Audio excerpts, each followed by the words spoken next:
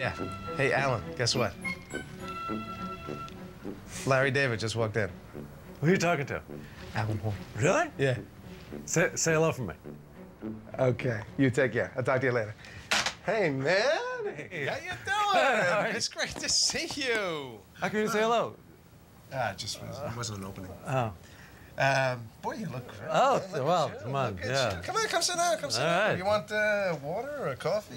Uh, no, I'm good. Okay. Oh. So, so, so. LD, Yeah. What'd it be? I like how these uh, our representatives got us together here. right, Schneider, yeah. Set said, us. uh, They set us up. Did he tell you that I was buying his house? Yeah.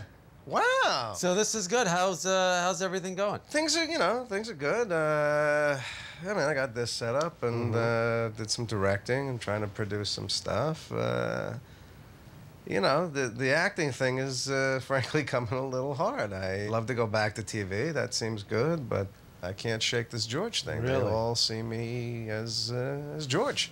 I mean, the thing about it is that you're not even close to George. I tell this to people all the time. You can't imagine what a great actor this guy is. He is nothing like that character. Oh. Thank you. Nothing.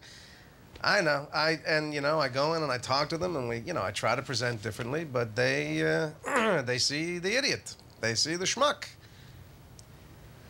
So I don't know. Well, what do you mean schmuck? I don't get that. What do you mean schmuck? The yachts, the idiot. The, the, you know, you know, you know. No, I, I frankly I don't know. I mean, I don't know why you could say he's a schmuck and a yutz and an idiot. I don't see him that way at all. I just see him as funny. I mean, of course it was funny, but he was the he was the fall guy. He was the the, the, the jackass role. He was, you know, this is the guy that never got the girl, and he finally Well, gets a so girl, what? and he kills So her uh, with the envelope and uh, doesn't know what he wants. That's funny. the- That's and not schmucky. you That's know. funny. What what is more jerky or putsy than than than going to a girl's house and stealing a, a, a tape out of her I answering stole, machine? I went to a girl's house and took a tape out of an answering machine. Larry, he's eating eclairs out of a garbage Yeah, can. so what? I ate an eclair out of the And garbage can. So what? Masturbation contest for people. I was in a contest, that- and you know I was in that masturbation contest. All right, fine, fine. So You know, what? I'm a schmuck for being in a masturbation contest? uh, it's not an incredibly noble experiment, was it? Well, I'm sorry that you hate the character so much. I don't much. hate the character. I'm a uh-huh. little tired of it. I mean, I'm an actor. I have a range of characters that I can play. Why am I relegated to this?